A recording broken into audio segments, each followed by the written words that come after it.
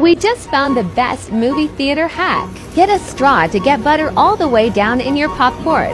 Now you don't have to get up during the movie for more butter. Yummy.